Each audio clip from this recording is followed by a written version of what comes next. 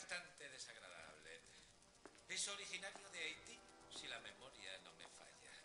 Le permite al brujo robarle la energía a otro. Te va a encantar.